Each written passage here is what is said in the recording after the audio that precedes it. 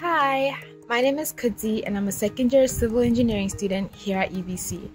I am from Zimbabwe but I moved around a little bit. I lived in Swaziland during my primary school, moved back to Zimbabwe, then went to Italy for the last two years of high school. Being abroad can be really hard, and I was so lucky that when I came to Canada, I attended Jumpstart, which helped me with my transition into university. It was special to me because I met amazing people who are some of my closest friends now. I managed to set up my bank, my phone, and my health insurance before school started. And I also managed to explore a bit of Vancouver and just campus in general.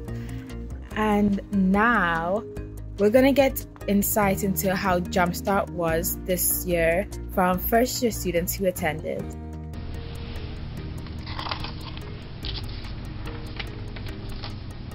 Describe Jumpstart with one word. Interesting. Hard to, but I'd say fun. Because a lot of the activities uh, were stuff I had never done before, and uh, I got to meet a lot of new people with a lot of different stories. I would probably go for relief. Assuring. Because I was so anxious What is your favorite memory From Jumpstart. I have a few. Um, one of them is we actually made uh, a boat competition. So we all built little teams. We built a boat out of styrofoam and we made it like float through like water and which one was the fastest one. I mean, I didn't do well, but it was still really fun. Um, for me, it was also uh, with building. People in my team, like, they, they knew what to do. I was so proud of them, and then we were able to like successfully like hold up the textbook with only paper. Like it made me realize that engineering like is so powerful. Did you have any concerns about being a woman or a minority in engineering? that were resolved during Jumpstart.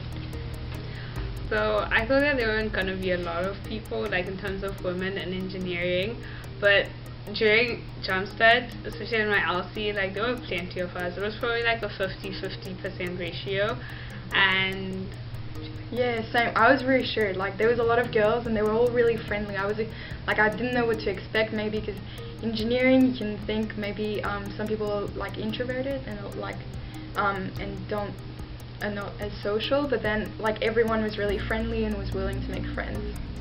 After Jumpstart, did your expectations of first year change? If so, how? So, to be honest, I thought I was coming here in a place where I'm expected to be perfect and to get everything in order from day one because UBC is a pretty competitive school. At first, I thought that first year everyone would just be trying to like succeed on their own academically, like fighting to be the best. But the honest truth is, they do actually understand that it's your first year. It's okay to get lost. It's okay to get things wrong. It's okay to not know what to do and to go seek for help. What was the most valuable thing you took away from the experience? I think the most valuable would be working in a team. Yeah, I agree with that. I think um, teamwork makes the dream work.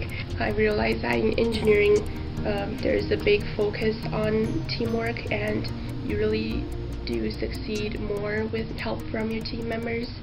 And uh, you learn how to accommodate other people's ideas and thoughts and uh, collaborate to make something wonderful in the end. So thank you so much for watching this video. Make sure to comment down below if you have any questions, like, subscribe so you can get to see more of me and the rest of the Engineering Stories team. Bye!